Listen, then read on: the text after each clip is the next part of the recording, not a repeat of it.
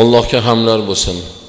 Nikohni halol bilan haromni o'rtasini ajratguvchi sunnat qildi.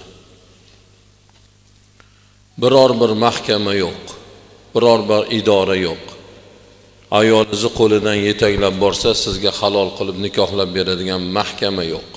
Illo masjid ollohni baytida yoki uyda o'qitilinsa shariatni xizmatini qilayotgan ahli ilmlar bilan borib nikohlansa halol bo'ladi. Boshqa hech kim qilib berolmaydi buni.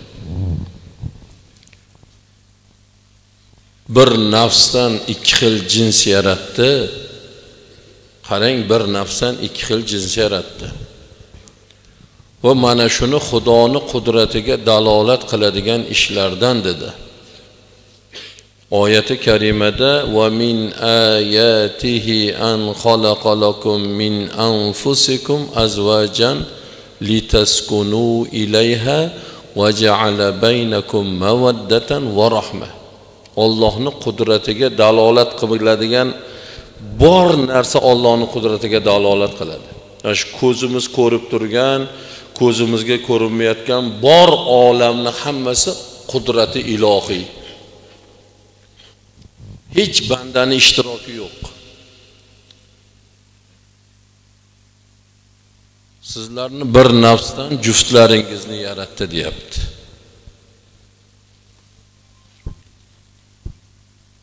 mana shu bakkalashkani olib bering ikkitasini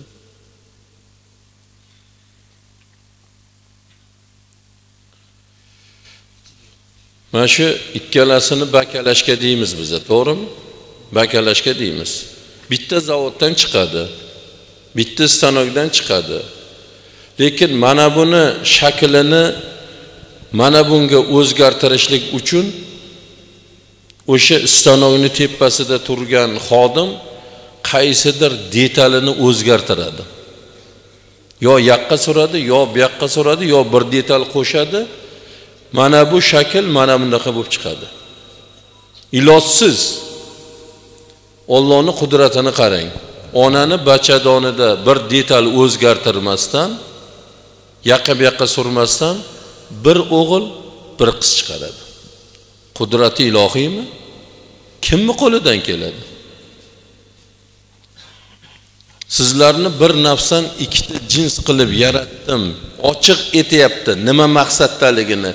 Litaskunu ilayha sizlar xotirjam hayot kechirarmikinsiz deb xotirjam hayot kechirarmikinsiz deb juftingizni yaratdim deyapti mana shu yerda bordir bitta. Bitta bo'lsa ham bir mehmonlarimiz ichida bordir og'ir olmasin. Yoshi qariya otaxonlarimiz bordir. Ayoli dunyodan o'tib ketib uch to'rt besh sakkiz yildan beri yolg'iz yashayotgan ota bordir bitta inson bordir. Shundan so'rangchi yolg'izlikni dardini yolg'izlikni azobini shu odamdan so'rangchi.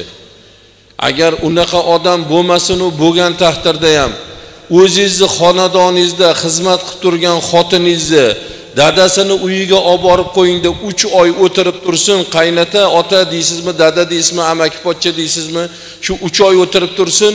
Man bir shu juftimni qadriga yetaychi man oxirgi paytda yetmay qolyapman ko'p urib yuboryapman ko'p so'kib yuboryapman. Uch oy siznikida o'tirib tursin deb. Xotiningizni tashlab kelingchi otasini uyiga. Nechi kun yashaysiz?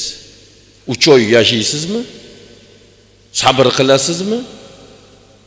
Bir haftada qiyomat qilamiz bir haftada buzib yuboramiz hamma yog'i. Bu shundoq juftlikki ya'ni hozir uyga boramizda uyga kirish bilan hovlida ko'ringan kelinimiz o'g'limiz qizimizdan ayang qanilar deymiz. To ko'z ko'zga tushmaguncha tana tanani ko'rmaguncha xotirjamlik nimaligini bilmaydigan juftlik bu. Xotirjam yasharmikinsiz deb yaratdim va sizlarni o'rtalaringizda bir biringizga mehr muhabbat uyg'otdim deydi.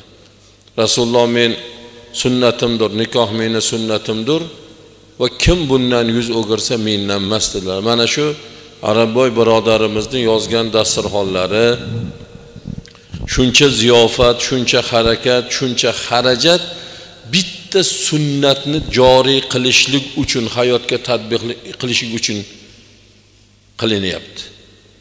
Masalan qudasiga arabboy birodarimiz mana oldi berdilar bo'ldi. Oladiganingizni oldingiz beradiganingizni berdingiz keling endi qizimni qizingizni beringda imijimida sekin yashaversin deb kelinni yetaklab kelib yashatmayapti. Qiz uzatayotgan ham shunaqa niyatda uzatmayapti. Shuncha odam shuncha jamoat oyoqqa turgan hamma nima uchun? Shu sunnatni e'lon qilishlik uchun bildirishlik uchun. Ismlari muhammad. Kuyovni ismlari?